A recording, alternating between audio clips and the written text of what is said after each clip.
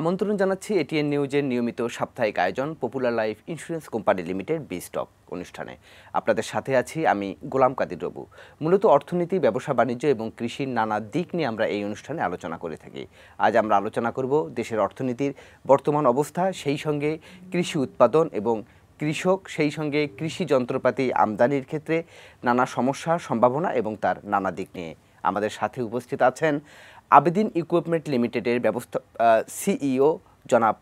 আমির হোসেন জনাব আমির হোসেন আপনাকে স্বাগত জানাচ্ছি বিস্টক অনুষ্ঠানে আপনাকে ধন্যবাদ এই অনুষ্ঠান আমন্ত্রণ জানানোর জন্য জি আমরা তো জানি যে এই মুহূর্তে দেশের অর্থনীতির সবচেয়ে যেটা আলোচনায় কিংবা চাপের যে বিষয়টি সেটি হচ্ছে কিছুটা ডলার ক্রাইসিস বিশেষ করে আমদানির এলসি খোলার ক্ষেত্রে নানা সমস্যা তো কৃষি যন্ত্রপাতি আমদানির ক্ষেত্রে আসলে কতটা সমস্যা বোধ করছেন আপনারা জি আসলে গত দুই মাস ধরে আমরা এই এলসিগুলি ওপেন করার ক্ষেত্রে অনেক স্ট্রাগল করছি আমার যে পোর্টফোলিও সেখানে আপনার কীটনাশক বীজ এবং হলো আপনার কৃষি যন্ত্রপাতি কৃষি যন্ত্রপাতি এবং ওই যন্ত্রগুলির খুচরা যন্ত্রাংশ তো এই ইম্পোর্টটার ক্ষেত্রে আপনারা জানেন যে বিভিন্ন ব্যাংক এখন তার যে নিজস্ব ডলার মজুদ আছে তা দিয়েই তারা এলসি এলসি ওপেন করতে হয় এবং আগে যেই জিনিসটা ছিল যে তারা ইন্টারব্যাংক ট্রানজ্যাকশন করতে পারত একটা ব্যাংকের কাছে ডলার না থাকলে সে আরেকটা ব্যাংক থেকে নিতে পারত এখন তাদের একমাত্র বর্ষাস্থল হচ্ছে হলো বাংলাদেশ ব্যাংক তো আমরা ইতিমধ্যে আমাদের কিছু ডেফার্ড এলসি আগে ওপেন করা ছিল সেই এলসিগুলির পেমেন্ট করার ক্ষেত্রেও কিন্তু আমরা একটা বড় ধরনের ব্যাগ পেতে হয়েছে আর আরেকটা হলো এখন আমরা এলসিগুলি ওপেন করার ক্ষেত্রে কিন্তু আসলে সেভাবে কোনো প্রায়োরিটি পাচ্ছি না তো আপনি জানেন যে সামনে আমাদের বড় মৌসুম আসতেছে এই বোরো মৌসুমের প্রিপারেশনটা কিন্তু আমাদের এখন নিতে হবে বোরো মৌসুমে যে মেশিনগুলি আমরা গভর্নমেন্ট সাবসিডির আন্ডারে আমরা যে মেশিনগুলি দেব এই মেশিনগুলির ইম্পোর্ট করা আরেকটা হলো যে আমাদের এখন যন্ত্রপাতিগুলি এখানে খুচরা যন্ত্রাংশ যেগুলি লাগবে যে পার্টসপাতি লাগবে যন্ত্রগুলি মাঠে সচল রাখার জন্য এই যন্ত্রপাতিগুলি খুচরা যন্ত্রাংশগুলি কিন্তু আমরা এখন আপনার ইম্পোর্ট করতে পারছি না তো এই ক্ষেত্রে আমি মনে করি যে আসলে বাংলাদেশ ব্যাংকের এখানে একটা নিবিড় আপনার মনোনিবেশ দরকার আছে এবং স্পেসিফিক আসলে কৃষির কোনো কিছু ইম্পোর্টের ক্ষেত্রে আমি মনে করি যে কোনো বাধা থাকা উচিত না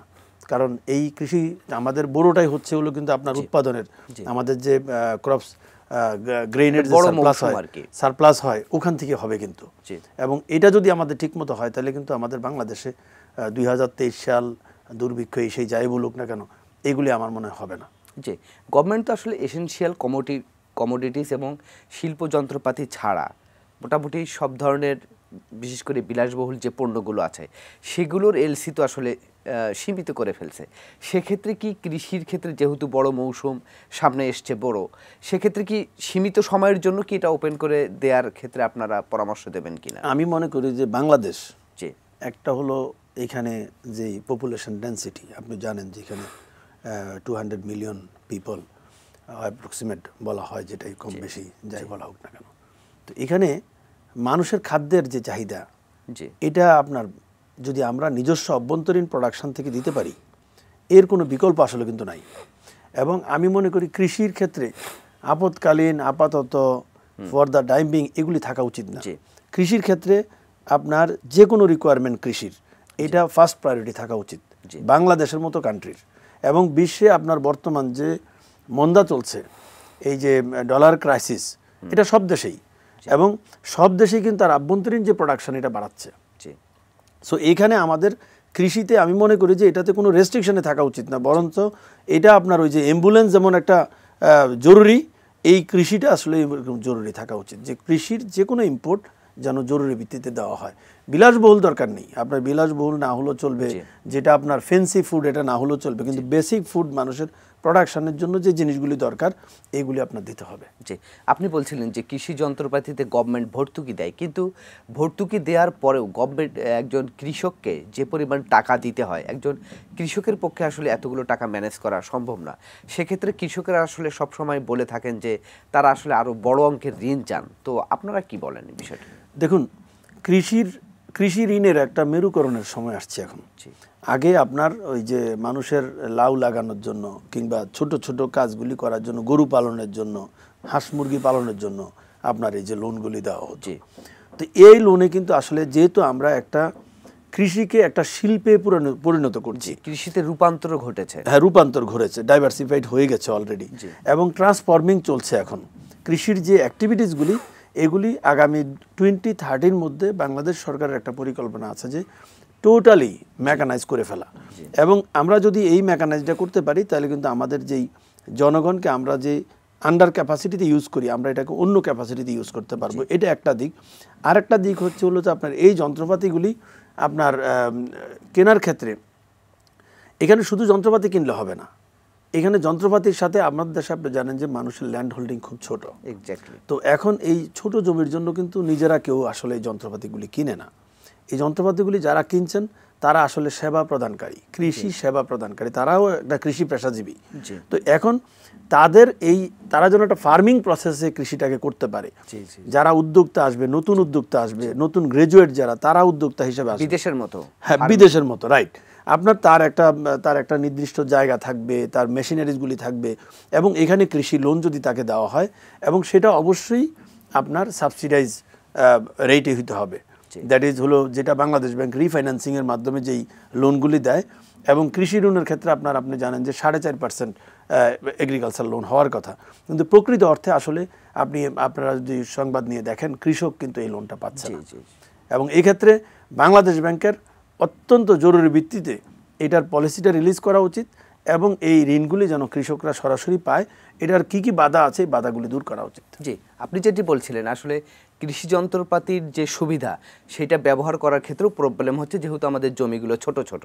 আবার কৃষক বড় অঙ্কের ঋণও পাচ্ছে না তো সেক্ষেত্রে যদি যেহেতু সামনে ভূমি সংস্কার আইন হচ্ছে এই ক্ষেত্রে কি কোনো কিছু ইনক্লুড করা যায় আপনার খুব একটা আপনার সময় উপযোগী একটা প্রশ্ন করেছেন এখানে যে ল্যান্ড রিফর্ম অ্যাক্ট যেটা হচ্ছে এখানে আপনার খুবই ভালো এবং আমি মনে করি যে বাংলাদেশে যুগান্তকারী এনআইডি যেমন একটা যুগান্তকারী পদক্ষেপ ছিল এই ল্যান্ড রিফর্মটা এটা আপনার একটা যুগান্তকারী পদক্ষেপ হতে চলেছে ইতিমধ্যে আপনার এই যে ল্যান্ড মিউটেশন বলেন বা ল্যান্ডের যে আপনার ম্যাপ বলেন এগুলি ডিজিটালাইজ অলরেডি কিন্তু প্রক্রিয়া শুরু হয়ে গেছে এবং এখন আপনার ভূমির খাজনা দিতে গেলে আপনাকে আগে আপনার এনআইডি দিয়ে একটা অ্যাকাউন্ট খুলতে হবে খুলে আপনার এই যত জমি আছে সব ওর আন্ডারে রেজিস্ট্রেশন হবে এবং এতে আপনার মামলা জটিলতাও কমবে এবং এই যে ভূমি নিয়ে যত বিরোধ এগুলি কমবে আর কৃষির ক্ষেত্রে যে উপকারটা হবে সেটা হলো যখন সরকার এই জমিগুলি আইডেন্টিফাই করে ফেলবে এবং যদি এটা আপনার স্যাটেলাইটের মাধ্যমে আপনার জমির যে টোটাল ল্যান্ডের যে ছবিটা তুলে নেওয়া হয় এই মুহূর্তে যে জমিগুলি কৃষিতে ব্যবহৃত হচ্ছে এই জমিগুলিকে সিল করে ফেলা যেটাকে ল্যান্ড জুনিং হবে যে আপনার কোথায় বাড়ি হবে কোথায় বাজার হবে কোথায় আপনার শিল্প কারখানা হবে কোথায় আপনার কৃষি কাজ হবে তো যদি এই জিনিসটা হয়ে যায় তখন আপনি কৃষি জমিগুলি একটা হলো সুরক্ষা পাবে আরেকটা হলো কৃষি জমির মধ্যে অন্য কিছু আপনি করতে পারবেন না এবং তখন আমরা কৃষিটাকে ওই ফার্মিং যে স্ট্রাকচার যেটা আমরা চিন্তা করছি এটাকে ল্যান্ড কনসোলিডেশন বলে ল্যান্ড কনসোলিডেশনের মাধ্যমে আপনার এই কৃষিকাজটাকে আরও বেগবান হবে এবং এই যন্ত্রগুলি আমরা তখন ইউজ করতে পারবো একটা মাঠে যখন একটা যন্ত্র নামবে ও টোটাল কাজটা করে ফেলবে কারণ যন্ত্র তো অনেক কাজ করবে সো একটা মাঠে যখন নামলো সে ওই আপনার একটা যন্ত্র দুদিন তিন দিন কাজ করলে টোটাল চাষাবাদ চাষের কাজটা হয়ে গেল তারপরে আপনার ধরেন সেচ করে দিল তারপরে আপনি সিডিংটা করতে পারে রাইট সমবায় ভিত্তিতে হতে পারে অনেক লোক একসাথে মিলেও করতে পারে আবার সবাই সহমতের ভিত্তিতে করতে পারে যে আমরা এই মাঠে একদিনে জমিগুলি চাষ করব বা একসাথে জমিগুলি চাষ করবো একসাথে ধান লাগাবো একসাথে ধান কাটবো তো তাহলে পরে আপনার ওই যে ওখানে যে অ্যাক্সেস টু দ্য ফিল্ড যে এই জমিটা ধান আপনার পাকে নাই ভিতরের একটা জমির ধান পেকে গেছে তাহলে তো সেই মেশিনটা ভিতরে নিতে পারবে না তো এই জিনিসটা তখন আমার মনে হয় আপনার সহজ হয়ে যাবে জি আমরা এই ব্যাপারে আপনার আরও কথা শুনবো তবে তার আগে নিচ্ছি ছোট্ট একটি বিরতি দর্শক আপনারা দেখছেন popular life insurance company limited বিস্টক এবার নিচ্ছি ছোট্ট একটি বিরতি আমাদের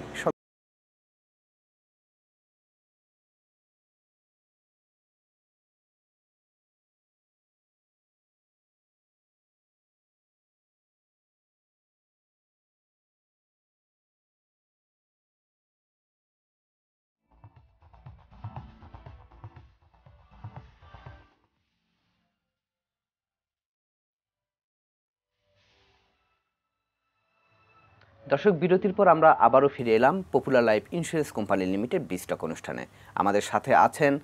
আবেদিন ইকুইপমেন্ট লিমিটেডের সিইও জনাব আমিন হোসেন জনাব আমিন হোসেন আমরা যে বিষয়টি আলোচনা করছিলাম যে এই যে কৃষি যন্ত্রপাতির কথা আপনি বললেন যে দেশ কৃষি যান্ত্রিকীকরণের ক্ষেত্রেও এগিয়ে যাচ্ছে সেক্ষেত্রে নানা সমস্যা দেখা দিচ্ছে বিশেষ করে ব্যাংক লোন কিংবা ভর্তুকির পরিমাণ সব কিছু মিলে তো আরও একটি সমস্যা কৃষকরা কিন্তু বলে থাকেন সেটি হচ্ছে তারা যে যন্ত্রপাতি ব্যবহার করেন সেই যন্ত্রপাতির ব্যবস্থাপনা কিংবা সেগুলো মেরামত করা বিশেষ করে সাম্প্রতিক যে ডিজেলের দাম বৃদ্ধি হয়েছে সেটিও তাদের একটা প্রবলেম তো এক্ষেত্রে আসলে কি করা যেতে পারে জি এখানে আপনি দুটো বিষয় বলেছেন একটা হলো যে কৃষি যন্ত্রপাতিগুলি ব্যবহার জি কৃষি যন্ত্রপাতিগুলি আপনি জানেন যে বাংলাদেশ সরকার আসলে এখানে একটা আমি বলবো যে যুগান্তকারী একটা পদক্ষেপ নিয়েছে এবং একটা যুগান্তকারী সিদ্ধান্ত নিয়েছে মাননীয় যে কৃষিমন্ত্রী আব্দুর রাজ্জাক সাহেব ওনার যে দূরদর্শিতা এটার আসলে খুব প্রশংসা করতে হয় যে উনি প্রথম সিদ্ধান্ত নিয়েছেন যে আমরা উচ্চ মূল্যের উচ্চ প্রযুক্তির মেশিন দেব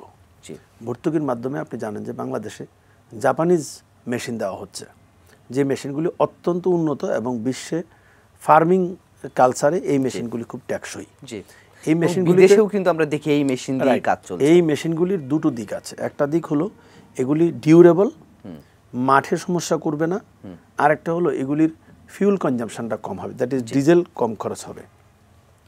তো এই এইটাই কিন্তু আসলে মেইন উদ্দেশ্য ছিল আপনার কারণ কৃষকের কাজের সময় যদি মেশিন ডিস্টার্ব করে তাহলে কিন্তু তার দেখা গেলো যে আপনার আবহাওয়ার খারাপ সিগনাল আছে আজকের মধ্যে ধানটা যদি কেটে না ফেলতে পারে তাহলে তার কিন্তু আগামীকাল সকালে এসে দেখবে যে ধান ডুবে গেছে তো এই ধরনের একটা প্রবলেম থেকে কিন্তু এই যে মেশিনগুলি সিজনের সময় যেন তাকে কোনো রকম ডিস্টার্ব না করে তো এই একটা সিদ্ধান্ত কিন্তু আসলে আপনার কৃষিতে নেওয়া হয়েছে এবং এটার একটা সুফল কিন্তু আমরা এই করোনাকালীন সময় থেকে এই গত দুই দুই বছর দুই তিন বছর ধরে আমরা কিন্তু পাচ্ছি আচ্ছা এখানে আপনার একটা বিষয় হলো যে আমার আমার মতে বিভিন্ন কোম্পানি এখানে কয়েকটা গ্রুপ জড়িত একটা হলো আপনার কৃষি অফিস একটা হলো আপনার বিভিন্ন কোম্পানি যারা মেশিনগুলি সাপ্লাই দিচ্ছে আর একটা হলো কৃষক যিনি মেশিনটা ব্যবহার করছেন এই তিনটা গ্রুপের সমন্বয় কিন্তু খুব ক্লোজলি সমন্বয় যদি না হয় তাহলে কিন্তু আমরা এই যে কৃষি যন্ত্রগুলি যেটা গভর্নমেন্ট ইনভেস্ট করছে এখানে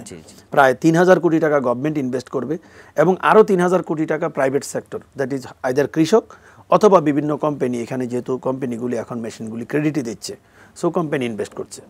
তো এই ইনভেস্টমেন্টের সুফল কিন্তু আমরা পাবো না তো এই ক্ষেত্রে আপনি জানেন যে গভর্নমেন্ট সাবসিডি গভর্নমেন্ট সাবসিডি মানে সবাই ওটা নেওয়ার জন্য উঠে পড়ে লেগে যায় তো এখানে অনেকে সুবিধা নিতে চাইবে তো এই সুবিধা যারা নিতে চাইবে তাদেরকে প্রতিহত করা এটা একটা চ্যালেঞ্জ আরেকটা চ্যালেঞ্জ হচ্ছে যে মেশিনগুলি যারা নিচ্ছেন তাদেরকে ক্লোজলি মনিটর করে তারা যেন মেশিনটা ব্যবহার করতে পারে জমিতে ঠিকমতো আবার যে কোম্পানি দিচ্ছে মেশিনটা সেই কোম্পানি যেন সার্ভিসটা দেয় কারণ যদি কৃষকরা যদি সার্ভিসটা না দেয় তাহলে পরে একটা ছোট প্রবলেম হয়েছে এই প্রবলেমটার জন্য কিন্তু মেশিনটা চলবে না জি হোয়ার ইজ মেশিনটা কিছু ভালো গ্রাম অঞ্চলে কৃষকের সঙ্গে কথা বললে কিন্তু আমরা এই সমস্ত বিষয়গুলি রাইট রাইট সো দ্যাট এখানে কোম্পানিগুলিকেও জবাবদিহিতার মধ্যে আনতে হবে আবার কৃষক যেন একটা মেশিন সরকারি ভর্তুকি আমি ক্ষমতা আছে আমি কৃষি অফিসকে ম্যানেজ করে মেশিনটা নিয়ে নিলাম আমি চালালাম না তাহলে সরকারের ইনভেস্টমেন্টের কোনো মানে নাই সো দ্যাট এখানে যেন প্রকৃত কৃষক যারা তারা যেন মেশিনটা নিতে পারে আমরা তো মানে কৃষি এবং কৃষকের সমস্যা নিয়েই কথা বলছি তো কৃষকরা আরেকটি বিষয় নিয়ে খুব প্রবলেমে ভোগেন যেটি দীর্ঘদিন ধরেই চলে আসছে যখন যে ফসলের মৌসুম যে ফসল কৃষক ঘরে তোলেন ঠিক সেই মুহূর্তে কিন্তু কৃষক সেই ফসলের দাম পান না যেমন এখন আলুর মৌসুম চলছে যেমন আমাদের এটিএন নিউজে রিসেন্ট একটি রিপোর্ট প্রচারিত হলো যে মুন্সীগঞ্জের কৃষকরা আলু ঘরে তুলছেন কিন্তু সেই আলুর ন্যায্য মূল্য তারা পাচ্ছেন না এই যে প্রবলেমগুলো তো এগুলো নিয়ে আপনারা কি ভাবছেন এখানে দেখুন আমরা যদি কৃষিকে শিল্প হিসেবে বলি যে তাহলে শিল্প প্রতিষ্ঠানে কি হয় আমার প্রতিষ্ঠানে আমি কোনো কিছু প্রোডাকশান করব কি জন্য আমার যদি এটা ডিমান্ড থাকে জি আমার যদি এটা ডিমান্ড না থাকে তাহলে কিন্তু আমি প্রোডাকশান করব না জি আমার যেটা ডিমান্ড আছে আমার যেটার অর্ডার আছে আমার যেটার চাহিদা আছে আমি কিন্তু সেটাই বানাবো সেটাই তৈরি করব। তাহলে সেক্ষেত্রে বাংলাদেশে আমাদের এতদিনে নিশ্চয়ই সেই পরিসংখ্যান আছে যে আমাদের কোন ক্রপের কি পরিমাণ আমাদের রিকোয়ারমেন্ট আছে এবং আমি যখন একটা সিজন শুরু করছি কৃষকরা যখন আমন ধানটা লাগাবে যখন বোরো ধানটা লাগাবে আলু লাগাবে পেঁয়াজ লাগাবে সরিষা লাগাবে তখন আপনার এই যে এখানে কোন ফসলটা কি পরিমাণে করবে এটার একটা কৃষি ডিপার্টমেন্টের একটা গাইডলাইন লাগবে ওনারাই কিন্তু প্রোডাকশন ম্যানেজার আমি মনে করি এবং ওনারা যদি ওনাদের কাছেই পরিসংখ্যান আছে ওনাদের কাছেই তথ্য উপাত্য আছে এবং ওনারা তাদের যে ব্লক সুপারভাইজার আছে কারণ আপনি জানেন যে প্রত্যেকটা কৃষি অফিসের আন্ডারে উপজেলা কিন্তু ব্লক সুপারভাইজার থাকে এটা ব্লকে ব্লকে ভাগ করা তাহলে এখন এই ব্লক সুপারভাইজার যারা আছে তারা কিন্তু কৃষকের সাথে আপনার সরাসরি সম্পৃক্ত এবং এক্ষেত্রে আপনার উপজেলা উপজেলা কৃষি অফিস এইখানে পার্টিকুলার এলাকায় গাইড করা উচিত এবং এটা তাদের সেন্ট্রালি আমি মনে করি যে মন্ত্রণালয় থেকে একটা গাইডলাইন যাওয়া উচিত একইভাবে তো এটাও করা যেতে পারে এটা গেল একটা দিক আরেকটা দিক হচ্ছে হলো যে আপনার যে ফসলগুলি উৎপন্ন হলো এই ফসল তো যেখানেই উৎপন্ন হলো এটাকে তো আমার স্থানান্তর করতে হবে এটার যেখানে রিকোয়ারমেন্ট আছে সেই জায়গায় পোষাইতে হবে এবং সেটা যেন কৃষক সরাসরি পোষাইতে পারে ওখানে যেন মিডল ম্যানের যেই দৌরাত্বটা এটা যেন বেশি না থাকে এটা যদি বেশি থাকে তাহলে পরে কৃষক ন্যায্য দামটা পাবে না মাঝখানে মিডল ম্যান এখানে পয়সা বানায় নেবে তো ব্যবসায়ী কিন্তু আমি যদি বেশি পয়সা দিয়ে দেই কৃষকের থেকে তাহলে কৃষক কিন্তু আসলে উদ্বুদ্ধ হবে না নেক্সট আপনি যেটি বললেন যে আসলে কৃষি মন্ত্রণালয় থেকে নির্দিষ্ট করে দেওয়া উচিত যে কোন মৌসুমে কোন ফসলটা কি পরিমাণ এলাকায় একই সঙ্গে তো এটাও করা যেতে পারে যে ক্লাস্টারিং তো করা যেতে পারে এক এক অঞ্চলের জন্য এক এক ফসল যেটি কিন্তু গভর্নমেন্ট মাঝখানে উদ্যোগও নিয়েছিলেন যে এক একটি অঞ্চল এক এক ফসলের জন্য পরিচিত হবে তো সেটা সেটা ঠিক আছে অবশ্যই সেটা ঠিক আছে কিন্তু তারপরেও আপনার ক্রপ আপনার এটা অনেক সময় অল্টারনেট করতে হয় এটা এমন না যে ওই এলাকায় শুধু এই ফসলটাই হবে হ্যাঁ তবে অল্টারনেট করতে হয় অনেক ফসল আপনার ইয়ে করতে হয় সেক্ষেত্রে হ্যাঁ ইয়ে আপনি যে কথাটা বলেছেন এটা অবশ্যই সঠিক যে আমরা জুনিং করতে পারি ক্রপ জুনিং যে আমরা এই এলাকায় এই ফসলটা করবো ওই এলাকায় কিন্তু তারপরেও এটা আমার কি পরিমাণে করব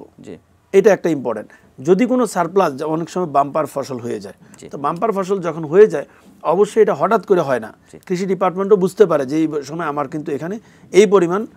ফসল উৎপন্ন হবে তাহলে এই ফসলটা নিয়ে ফসলটাকে আমি কিভাবে প্ল্যান ওয়াইজ কাজে লাগাবো তাহলে সেই পরিকল্পনা কৃষি ডিপার্টমেন্টে থাকতে হবে যে ফসলটা যখনই উঠানো শুরু শুরু করবে তখন তাদের একটা অ্যাক্টিভিটিস থাকতে হবে ওখানে যে আমি ফসলটাকে আইদার আমি প্রিজার্ভ করা ওয়ার হাউজিং করা বা আপনার ওখানে যদি কোনোটা পছনশীল হয় সেটাকে সেটার জন্য ফ্রিজিং সিস্টেম তো ডেভেলপ করা তো এই জিনিসগুলি আমার মনে হয় গভর্নমেন্টের করতে হবে জি আমার একেবারে লাস্ট প্রশ্ন সেটি হচ্ছে আপনারা তো দীর্ঘদিন ধরে কৃষির নানা বিষয় নিয়ে কাজ করছেন কৃষি যন্ত্রপাতি কৃষির উন্নয়নে কাজ করছেন তো আপনার কাছে জানতে চাই এই যে এখন তো খাদ্য নিরাপত্তার বিষয়টা আবার নতুন করে আলোচনা এসেছে তো এক্ষেত্রে আসলে সার্বিকভাবে আপনাদের পরামর্শ কী না এক্ষেত্রে আপনার আমি মনে করি যে জিনিসগুলি এতক্ষণ আসলে আলাপ করলাম জি একটা হলো যে আমাদের খাদ্য নিরাপত্তা করতে হলে আপনাকে আমাদের যে প্রোডাকশন প্ল্যান প্রোডাকশন প্ল্যান থাকতে হবে একদম ক্রপ ওয়াইজ প্রোডাকশন প্ল্যান থাকতে হবে এবং সে অনুসারে কৃষকদের সাথে খুব কারণ খাদ্য নিরাপত্তা আপনি ইম্পোর্ট করে করতে পারবেন জি বাংলাদেশ এমনিই আমাদের ইম্পোর্ট আপনার বেশি এক্সপোর্টের থেকে বা আমাদের রেমিটেন্স যেটা আছে তার থেকে বেশি সো দ্যাট এখানে প্রোডাকশানের কোনো বিকল্প নাই এবং এখানে প্রোডাকশানটা প্ল্যানিং ওয়াইজ করতে হবে যেন কোনো ক্রপ যদি বাম্পার ফসল হয় সেই ফসলটাকে যেন আমরা প্রিজার্ভ করতে পারি এবং এটা যেন আমরা আবার টাইম টাইমলি কনজামশানের জন্য ব্যবস্থা করতে পারি এই জিনিসগুলো আমাদের করতে হবে আর হলো কৃষককে আরও বেশি ইনভলভ করা চ্যানেলেও মধ্যেও কৃষক ইনভলভ হইতে হবে টোটাল জিনিসটাকে যদি এবং আমরা আরেকটা বিষয় হলো কৃষি পেশা এই কৃষি পেশাজীবী তৈরি করতে হবে আমাদেরকে প্রচুর পরিমাণে কৃষি পেশাজীবী তৈরি করতে হবে তাদের জন্য একটা সম্মানের জায়গা তৈরি করতে হবে আপনি একজন লোক গ্রাজুয়েট হলো শিক্ষিত হলো তাকে যেমন সম্মান দেবেন আর যিনি আপনার জন্য এই খাদ্য তৈরি করছে খাদ্য উৎপাদন করছে তাকে দেবেন না তাহলে হবে না সো দ্যাট কৃষকের জন্য আপনার যে গভর্নমেন্টের বিভিন্ন প্রোগ্রাম বলুন বা বিভিন্ন ধরনের যে ফার্স্ট ক্লাস যে ইয়া আছে ওই ধরনের কিছু ফ্যাসিলিটিস কিন্তু কিছু সিলেক্টেড কৃষককে দিতে হবে যাতে করে কৃষক তার যে কৃষিটা করে এখানে যেন সে গর্ববোধ করতে পারে যে হ্যাঁ আমি এই দেশের জন্য করছি এবং দেশ আমাকে আসলে মূল্যায়ন করছে যে আমরা আলোচনার একেবারে শেষ পর্যায়ে চলে এসেছি আপনাকে অসংখ্য ধন্যবাদ আমাদেরকে সময় দেওয়ার জন্য আপনাকেও ধন্যবাদ এবং সেই সাথে এটিএন নিউজের সকল দর্শক শ্রোতাদেরকেও ধন্যবাদ দর্শক এই ছিল আজকের popular life insurance company limited বিস্টক অনুষ্ঠান আগামীতে আবারও দেখা হবে অন্য কোনো বিষয় নিয়ে সে পর্যন্ত ভালো থাকুন সুস্থ থাকুন এটিএন নিউজের সঙ্গেই থাকুন